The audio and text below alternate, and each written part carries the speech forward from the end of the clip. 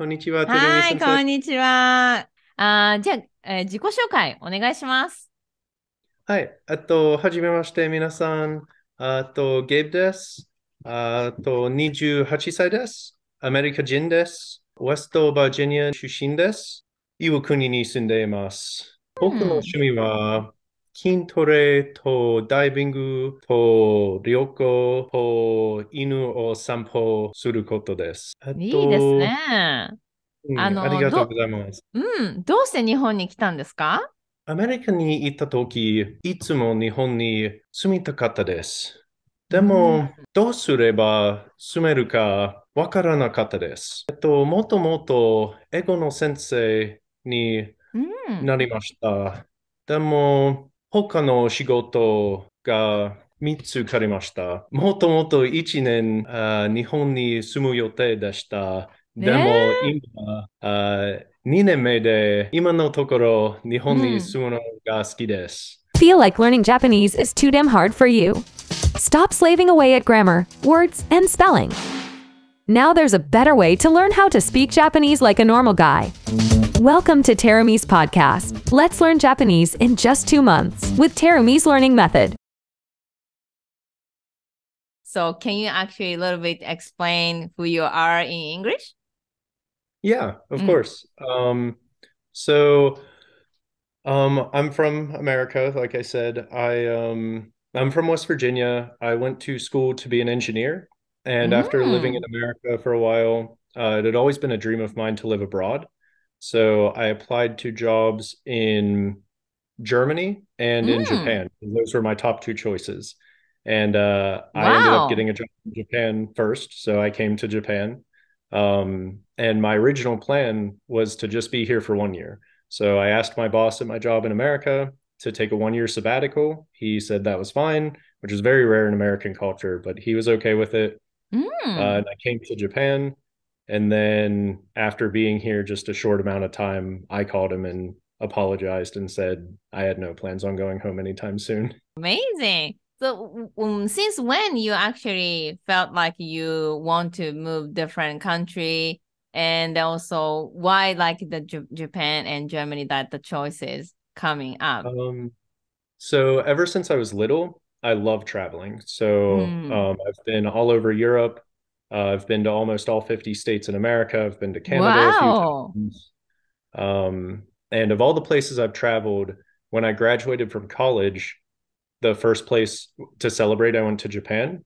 And it's just the culture and everything about Japan is so different than America. It was so Mm. exciting. Um, even Mm. traveling Western Europe, it's still pretty similar to America, um, Mm. at least I think. And so everything was so different here and it was so much fun, uh, which is why I think it was my favorite. Um, but I've always wanted to live abroad. When I was in middle school and high school, I used to Mm. study Chinese, Mm. and I had an opportunity when I was younger to do a study abroad program in China, and I passed it up in order to graduate high school early, which I regret. And then I went to college, and I had the opportunity to go study abroad in Italy for a year, but I passed it up to uh, graduate early as well. And so I graduated college when I was 20, and I went and got my first job as an engineer. And it was really difficult kind of settling into a day-to-day mundane engineering job, working long Yeah. hours. And Everyday doing that, routine, right? Like a really nine to five, right? There's no traveling every day, like just a nine to five every day, right? yeah. And it gets so boring. And then after five or six years, COVID happened. Mm. And I hate to say this, it sounds bad, but COVID was really good for me because it kind of shook up my life and it Mm. made me sit at home in quarantine and realize that I felt like I had made some bad decisions in my life, that I made a Mm. lot of money and I had a great job, but my life was Mm. boring.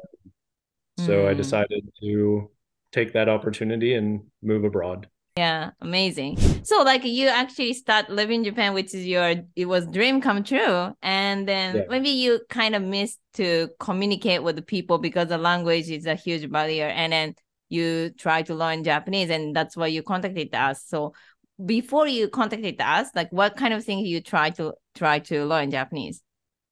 Yeah, so before I came to Japan, I had Mm. studied Japanese a little bit Mm. um, when I was in college. Uh, I took a class randomly. I had to fill up enough hours for one of my semesters, and um, I had studied Chinese in the past, so I figured, oh, Japanese will be easy. Mm. So I tried that. Um, and then before coming to Japan, I took a course over Zoom to learn some Japanese. I bought all the Genki textbooks and started reading through them.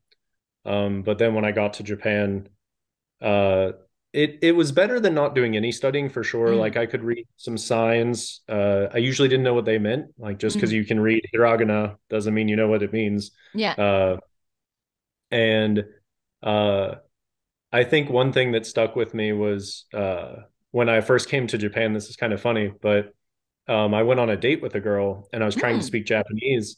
Uh, she knew English pretty well, and she she was joking with me that I sounded like a kid because I always just said words. I wasn't able to Mm. express myself through sentences. I would say like, you know, sakana or just Mm. random nouns and point at Mm. things. Like you're like a little kid. You need to learn how to express yourself. Mm. Um, and so I went to an English cafe for a while in town Mm. uh, to practice with people. Um, I'm definitely not a shy person. I'm very talkative, Mm. but it none of it really worked well for me. And Mm. one thing that was always hard for me was confidence too. So even if I would read in a textbook how to say like uh hukuro ichimai moratte desu ka to ask for a bag at the grocery store. Mm. Um, I wasn't confident in how I was saying it, so I would Mhm. like whisper, and if I would say it to the person and they'd go, "Eh?" I'd get super nervous and I'd just default to English. Um, so I really wanted to coach someone that could say it to me, listen to me say it that way. When I was in those situations, and I'd say, you know, "Hukuro ichimai desu ka?" That, and they Mm. go, "Eh?" I would know I said it right, and I would say it again. Mm. Um, and I think That's that true. Really did that for me. Mm. So I had been to an English cafe that um, they were like round table style, and you would sit and talk to people. Uh, it was mostly Japanese people, and they would try Mm. speaking um, English, and I would ask them to help me with my Japanese. But a lot of Mm. times we'd end up defaulting to English because they knew more English than I knew Japanese. Mm.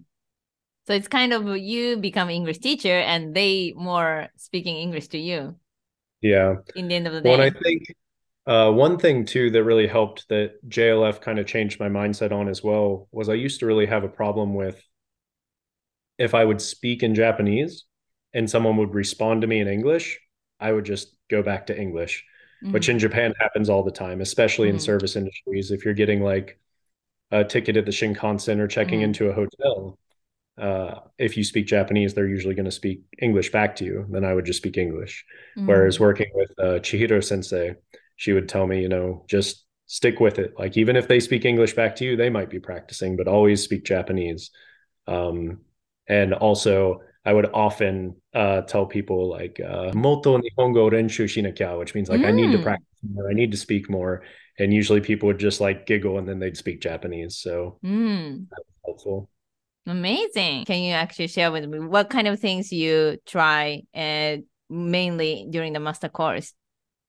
Yeah, so um my first experience with Master Course was actually I was in Yamanashi on travel because I travel every weekend, and I had called you to discuss potentially I uh, remember. joining, and uh, which I believe you said you're from Yamanashi, right? Yeah, exactly. Um, but one thing that I thought was really interesting in our first phone call, and now I understand it better, but at the time I didn't, was you were really trying to figure out what my goals were and why I was practicing Japanese, which wasn't what I expected when we had our first call. I figured, you know, oh, she runs the company. She's just going to instantly like try to get me to sign up. She just wants my money, um, which was not my experience at all. It was, you know, asking, what are your goals? Are you sure this is right for you? Um, and now I'm I better understand that. Um, I do think, you know, for people that are studying to pass a test, I don't think JLF's right for those people. No. Um, but I think if you're living in Japan and you're studying to pass a test, you're probably not doing the right thing, Yeah. uh, which is what I was doing when I first got here. I thought, you know, JLPT level three is conversationally fluent, so I just need to pass the test, then I can speak. But then I met a few foreigners here that were level one and had Japanese jobs, and they couldn't speak Japanese very well. Uh, they were good at textbook, but they weren't good at conversation, and that made me kind of change my mindset. And then starting the classes, I think what was really helpful at the beginning was having uh, Chihiro kind of put me in these situations that living in Japan I go through every day, like going to a convenience store or going through the airport or checking into a hotel or getting my hair cut at a barber or taking my dog to the groomer. Um, and all these situations that you don't have to be great at Japanese. You just have to they're kind of structured conversations, right? When you walk into 7-Eleven, they're going to ask you the mm. same questions every time and you're going to respond similarly. Mm. Uh, and I was always kind of against that method of learning originally because mm. I always thought, well, I'm only going to know those situations. And so it's funny because when I started JLF at first, I was a little upset. I was like, no, I want to learn Japanese, not just how to regurgitate a sentence. But then after, you know, 15, 20, 25 lessons, I started getting to the point that I'd used these sentences, I had talked to people, and I was starting to figure out how to, you know, create the sentences I wanted. Um, and it gave me the tools to go out and make friends and talk to people. And I think, you know, JLF kind of got me from a point where I just knew random vocabulary and random grammar to now, 30 lessons later, um, I can not only can I go through a train station and get my haircut and everything in Japanese, but I can also go to the Sapporo Yuki Matsuri, the snow festival, and mm. uh, talk to random strangers in line, or go to Tokyo and sit at an izakaya and strike up conversation with the owner. Mm. Um, and I think as a talkative person, it makes my experience in Japan so much better mm. to be able to strike up conversations with strangers and have those meaningful connections that are hard as a foreigner. Mm-hmm. You know, I understand a lot of actually language learners say, I want to learn everything, you know, everything, not just only situation yeah. like a restaurant or no, I just want to learn everything. But the everything never happened because you can't memorize it. And in yeah. order to memorize it, we have to start using it.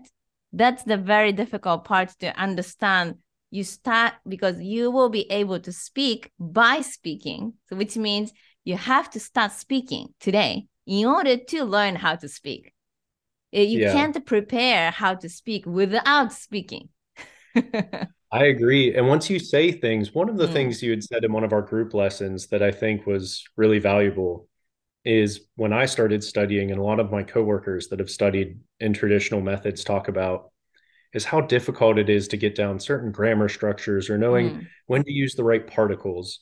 Um, which I think when you speak it more and more, you kind of get a sense for when you say something, you go, oh, that doesn't sound right. That doesn't yeah. feel right saying it that way. Um, you just kind of intuitively understand. Like, I don't know that I could write you a textbook definition of when to mm. use which particles, but at least I feel like I have a decent understanding of mm. where to put them because I've spoken enough and I've had conversations with people. Exactly. So that's how you speak your mother language, English. Like you really don't know what actually the system is so much, but it's you have a sense that it's oh, this is you're saying right or wrong. And it's sometimes you can't explain why I have to say it like this way.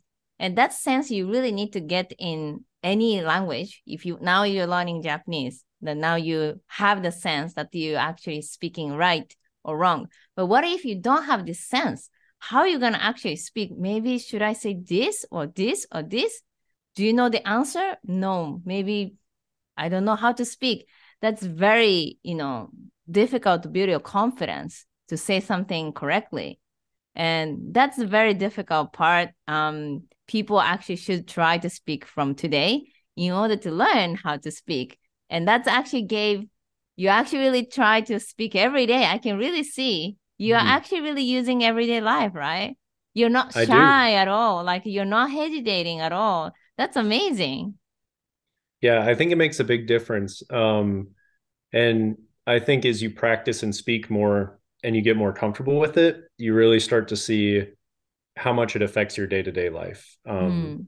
just last weekend i was in hiroshima for a gyoza festival mm. with one of my coworkers and his fiance, who is uh, Japanese and she speaks no English.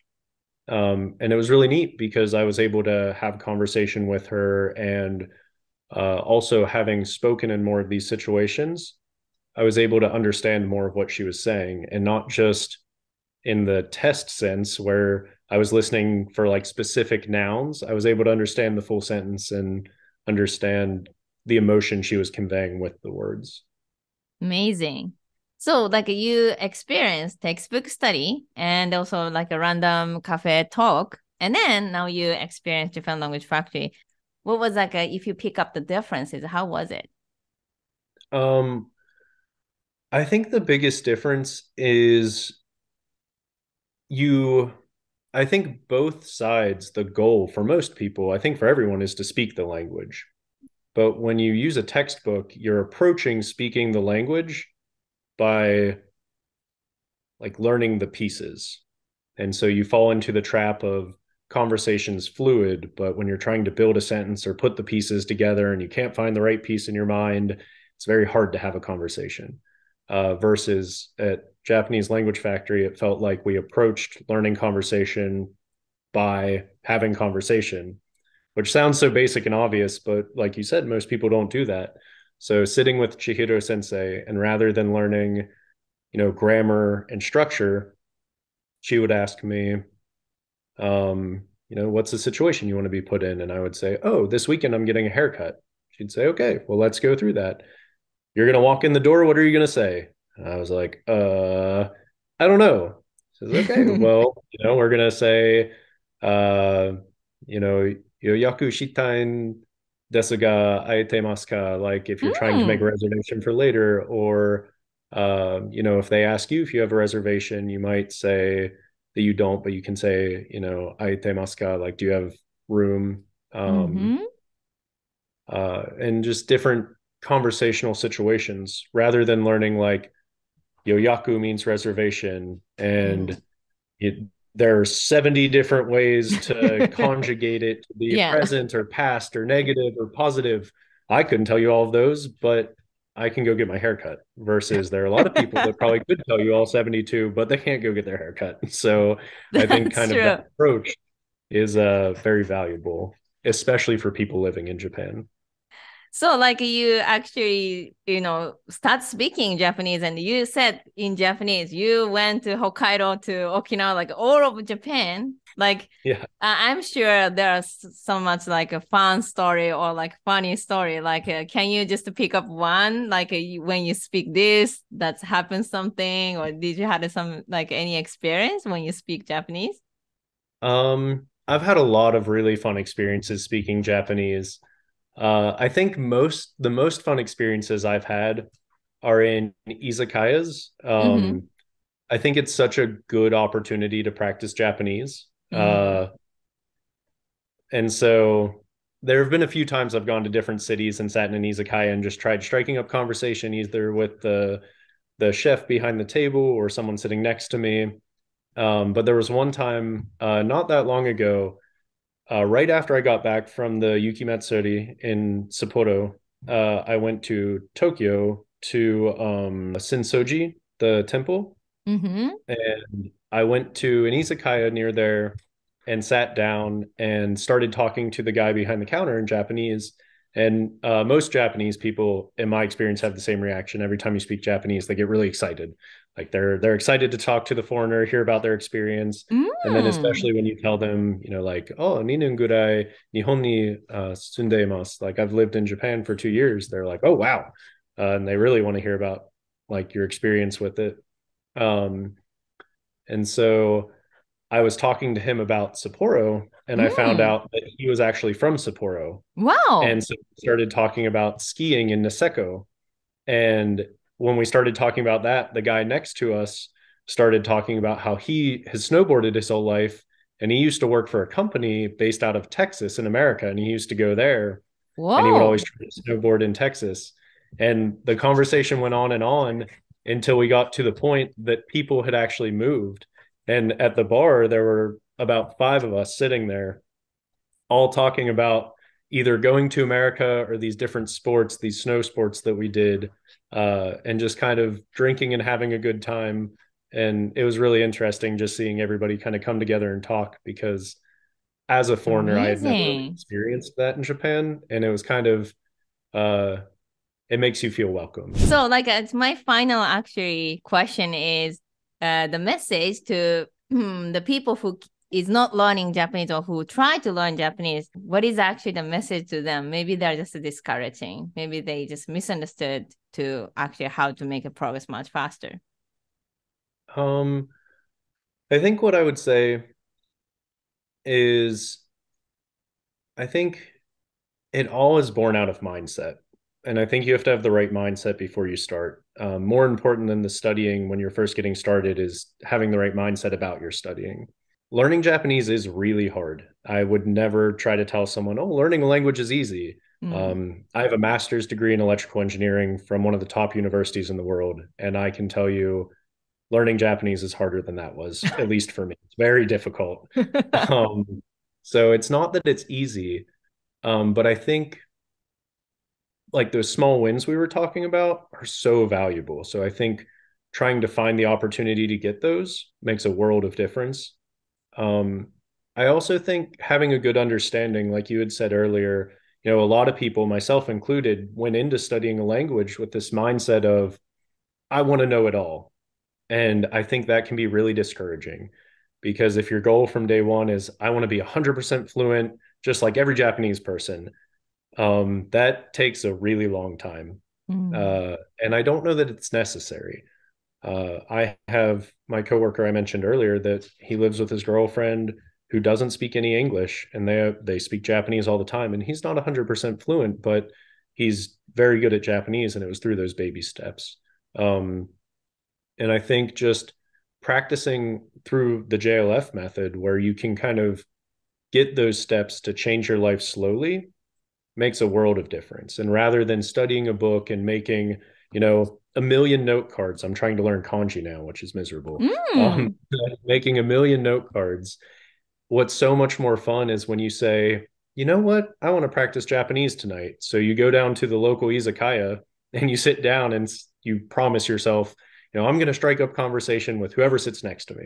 Mm. Someone sits next to you and you start conversation and you go home and it doesn't even feel like you practiced, but you probably picked up a word here or there. Um, at the Gyoza festival last weekend, I learned um, ryoho for both because I was mm. trying to hmm. order two of something, mm. and that wasn't from writing it down and studying it ten times. Eh, but I'll remember it forever because there was a booth that had two different kind of gyoza, and I wanted both. And so I asked the lady how to say it, and she said, "Oh, ryoho," and now I'll always remember it because it's tied to a memory. And I think kind of living through your studying rather than making it a task and mm. making it a miserable experience, I think makes a world of difference. And that method of studying useful daily things that can change your life rather than studying vocabulary and grammar with the thought that maybe if I do this for a year, then I'll know everything. Because you're not. If you study grammar and vocabulary for 10 years, you're still not going to know it all. um, I mean, when you're young, you learn the fastest ever, and you you're in high school until you're 18, right? So it takes 18 years when you're your best learning. So when you're older, it's going to take even longer, and you have yeah. work and other tasks. So rather than going for that, go for having a happy life with useful language and study in that way. I think that's what I would tell someone. Are you expat? Live in Japan? You started living in Japan, you're super excited to communicate with locals. You can enjoy traveling, meeting people. And then you start using this textbook and you feel like, wow, that's so many. Elementary school textbook, another elementary school textbook, and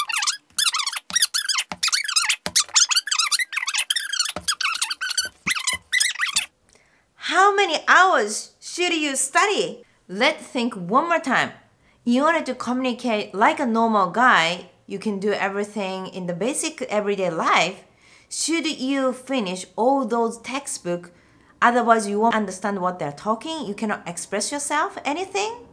First of all, there are always two ways to learn languages. One is documentational language, the other one is conversational language. It's like, you know, once upon a time, grandmother and grandfather are living somewhere somewhere Or, hey, what's up? How's it going? Which is conversational. What is the most effective way to learn how to speak Japanese? Textbooks can't talk to you, so you cannot improve your listening skill and pronunciation, how to communicate.